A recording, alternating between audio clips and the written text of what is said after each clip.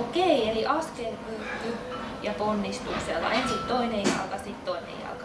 Kun laitat jalan eteen, niin katso, että polvi ei mene varvasti ja yli ja ponnista takaisin.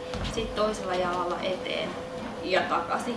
Ottaa tosi paljon sinne pakaraan, mutta myös sitten takareisiin, etureisiin. Hyvä. Ja sille polvi hipasee maata.